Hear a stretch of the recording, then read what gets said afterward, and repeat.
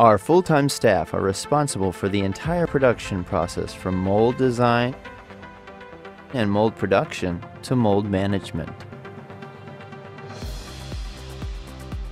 We arrange suitable wax injection machines for different products, from rotating wax injection machines to large wax injection machines.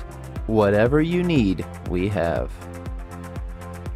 Setting the proper pressure and wax injection schedules are for ensuring the consistent smoothness on the surface and the dimensional accuracy of the wax injection patterns.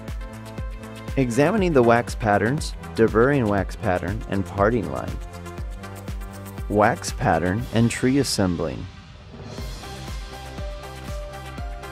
Dipping in the slurry. Coating with refractory sand layer by layer.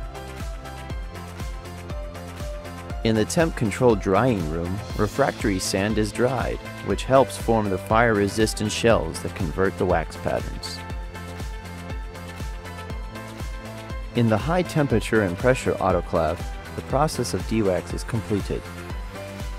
In the nitriding furnace, the temperature of the shell is increased, maintaining its average temperature. Select the suitable metal materials.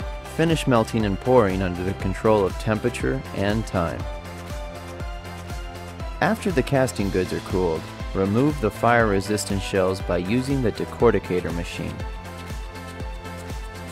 Use the cutting machine and finish tree removal process. Use the lapping machine and remove sprue. Remove remains on the shells through bead blasting process. Use automatic ultrasonic pickling machine for washing the casting goods. Finish the casting process.